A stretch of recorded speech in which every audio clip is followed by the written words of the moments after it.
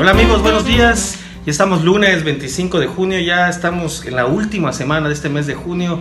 Eh, un mes de junio pues caluroso, lluvioso. Eh, es, tuvimos un fin de semana también con mucha lluvia, ondas tropicales ya empiezan a llegar con más frecuencia a la región. Esta semana vamos a tener al parecer tres ondas tropicales. Una llega en las próximas horas, otra llegaría a media semana y posiblemente una del fin de semana. Así que tomen sus precauciones porque toda la semana no va a haber día seguro al salir. Les saluda Juan Antonio Palma Solís, meteorólogo del Centro Meteorológico por esto. Bueno, en la imagen de satélite de las últimas 24 horas se puede ver eh, que la onda tropical que nos dejó lluvias el fin de semana entró el viernes, pasó ya el sábado se ubicaba por esta región y ya para ayer, domingo, ya se ubicaba sobre la parte centro del país. Vean las tormentas fuertes que dio en Veracruz y Oaxaca.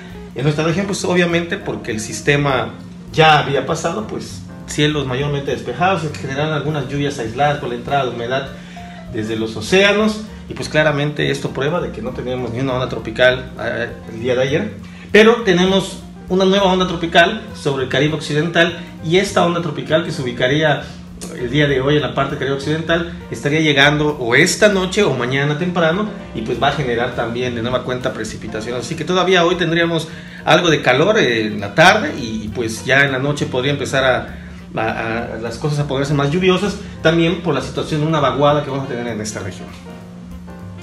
Esta es la carta de pronóstico para hoy, lo que les comentaba, vamos a ver una vaguada en la parte del Golfo de México en combinación con la entrada del marítimo tropical. Podría generar algunos chubascos para el día de hoy, unas tormentas eléctricas dispersas, pero también llegaría esta nueva onda tropical en el transcurso de la noche o mañana temprano y pues va también esta a generar precipitaciones. Otra nueva onda tropical también se detectó llegando al Caribe y se ubicaría el día de hoy en el Caribe central, también rumbo hacia nuestra zona.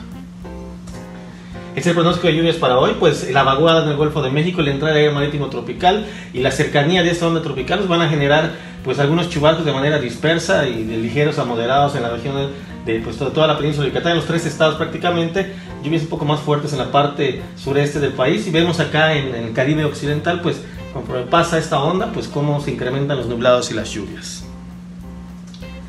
Temperaturas para hoy, mucho calor, tómalo muy en cuenta, temperaturas de 35 y 40 grados con sensaciones térmicas cercanas a los 50, principalmente en, Campeche, en Yucatán, en la parte central de Yucatán, occidente de Yucatán, casi todo el estado de Campeche, y como siempre un poquito más suave las temperaturas en Quintana Roo, temperaturas entre 30 y 35 grados Celsius. Bueno, mañana martes, pues la onda tropical ya se ubicaría sobre la parte occidental de la península. Su lado derecho es el lado inestable, pues obviamente dejaría más lluvia el día de mañana sobre la región de la península de Yucatán. Igual en combinación con esta vaguada, pues tormentas eléctricas podrían darse de manera fuerte, con viento, así que mañana se pone un poco más lluviosa la situación y tenemos otra onda tropical que ya estaría llegando al Caribe occidental. Las lluvias para mañana, pues claramente se ven lluvias más generalizadas, con mayor intensidad, lluvias fuertes, muy fuertes en Yucatán, en Quintana Roo principalmente. Sin embargo, va a ser algo muy general y vemos como toda la región con precipitaciones asociadas a este paso de esta onda tropical y aquí también la nueva onda tropical ya empieza a generar lluvias significativas en la parte oriental de Centroamérica y Caribe Occidental.